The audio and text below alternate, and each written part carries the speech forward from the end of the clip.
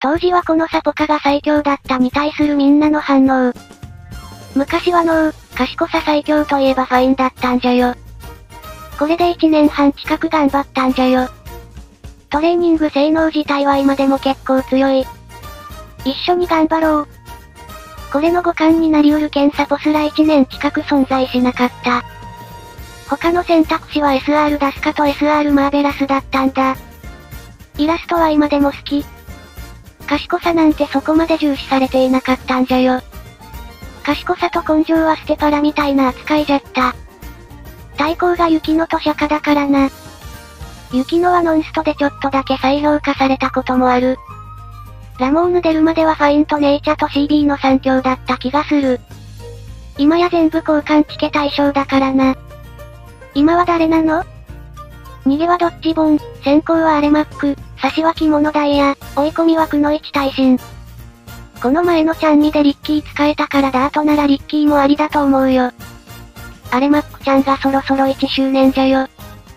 逃げはスピサポのファルコ積むならボン以外の選択肢もあり得るけどそれにしたってラモーヌとかダートのリッキーくらいしかない。今の賢さは見事に客室ごとに分かれてるよね。汎用賢さっていないのでは？そこはまだラモーヌが通用する。マイル中距離のスキルがきっちり揃うのもありがたい。うちの賢さ殿下を根性殿下にしてくれんか。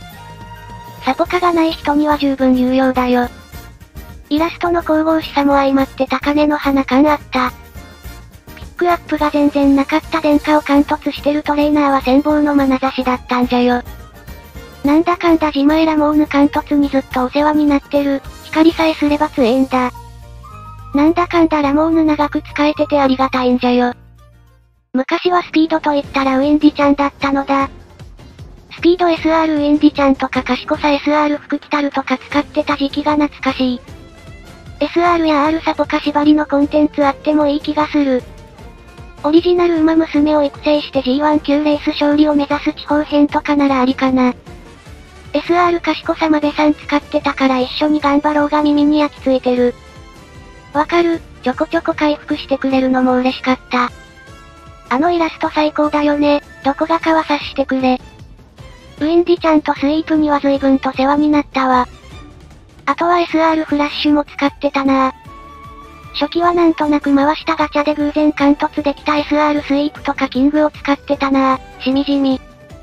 ろくに SSR も揃ってない時代はウィンディちゃんに本当に世話になった。SR ウィンディちゃん性能も当時の SSR クラス、レス50とよく使っていたのだ。ウィンディちゃんで解決だったのだ。ケツは今でもでかいだろ。自分はフラッシュキングプラススイープにお世話になった。北さんじゃないの？ワイワイまでも使ってるが。課金してる人は北さんだったけど無課金や美課金にはウィンディちゃんは救世主だったのだ。金決勝でウィンディちゃん感させたのが懐かしい。ファインは今更ながら貫突したあれマックがないから先行に使ってるぞ。次の LOH だと秋馬娘と右回りをヒントで持ってるから来ると嬉しい。飲酒集会ではスピロブロイと合わせて使ってる。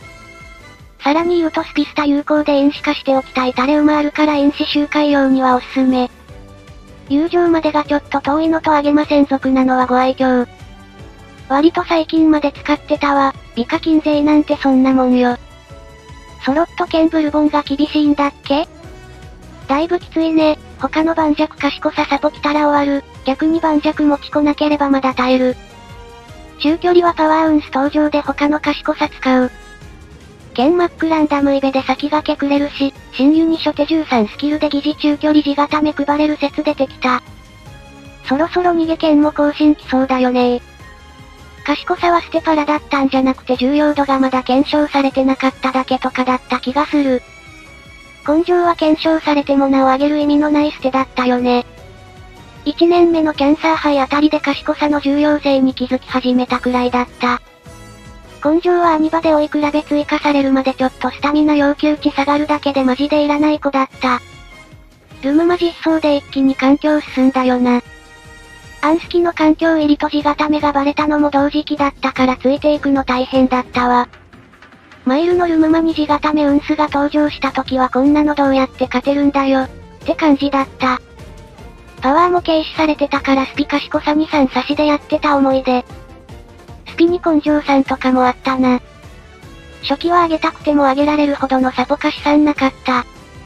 追い抜きモードや下り坂モードの発覚、賢さ殿下の強さが評価されるの流れだったと思う。根性行くのが最強だった時代もあったんじゃよ。最大体力プラス4は強かった。今はほぼメイクラ専用サポ。メイクラの次になってもしばらくアイネスの根性育成で使ってたなイベントでスタミナ漏れるのが大きかった。今からでも遅くない、せめてあげませんをヒントレベル下がるだけに変えてもらえないか？あげません族は本当に誰も得しないからな、全敗してもいいと思う。賢さが400でいいとかも言われてたの頭パーの根性なしばかり育ててました。1年目のタウラスやジェミニハイはそこらを上げるような余裕がなかったのもある。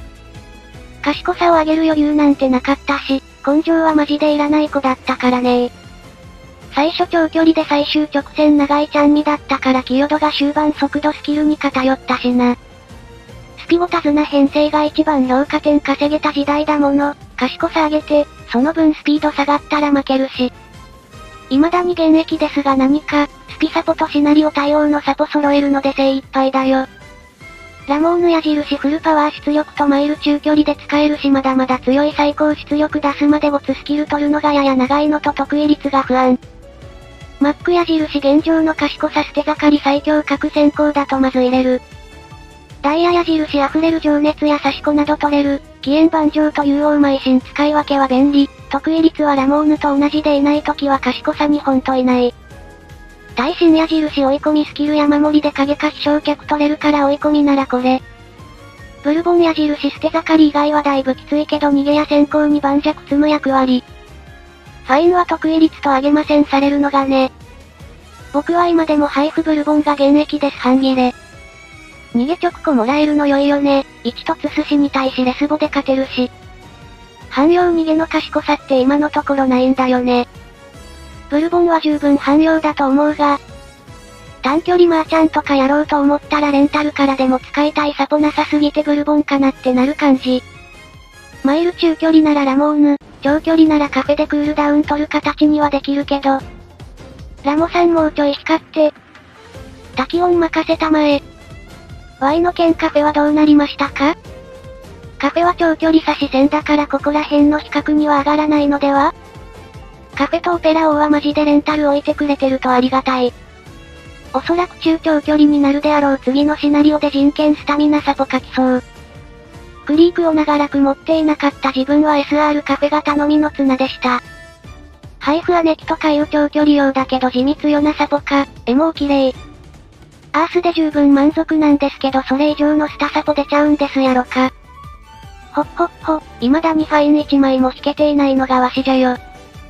今回の LOH が右回り空きだからワンチャン使えんかなと思うが賢さは1枚でいいしな飲酒ではありがたいんだけどね、本育成ではラモ以上の賢さあるとそっち選ぶな逃げで一番きついのはパワーか根性で盤石持ち、賢さで逃げ必須枠スキルでそれぞれキックずれること。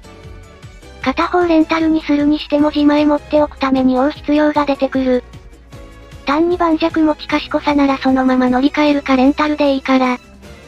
うちの SSR 検定王もまだまだ現役じゃよ。ラモと違って短距離にも長距離にもさせるの便利だわ。スピファルコ貫突したけど次のチャンミの賢さは食って誰がええの？ラモーヌかコンセ用マーチャン。中距離ならコンセそれほど重要じゃないから逃げならラモーヌだね。出遅れたら諦めるってことでラモかな自分も中距離だと推しの通常アイネス出したいから共に頑張ろう。チャンミなら中距離ですのでパワーウンスをレンタル、LOH ならマイルですのでいつもの編成、賢さは両方ともにラモーヌがベターだと思われます。SR 服着たるから右回りもらって頑張ったんじゃよ。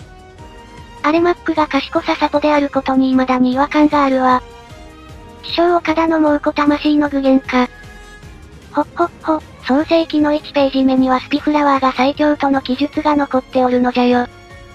初期の確定 SSR フラワーでした。初心者にも優しい効果、なはず。はやて一文字当時クソ雑魚だったな。一年ごとにじわじわ持続増えていったの笑う。あ、愛嬌があるから。狙ったわけじゃないけどいつの間にか貫突があるわ、スピフラワー。リリース初日のリセマラ最強は、タズーナだったんだよ。事実半年間はとても重要なサポカではあった。ラモーヌ光れば性能的にはトップクラスなんよな。たまーにめっちゃ光る育成会あるのなんなんだろうね。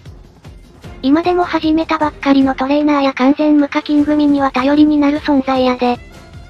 さすがに SSR 兼ファインは使わなくなったな。代わりに SR ファインで右回りと秋馬娘の因子周回してる。得意率については2枚編成の時代から言われ続けていたからな。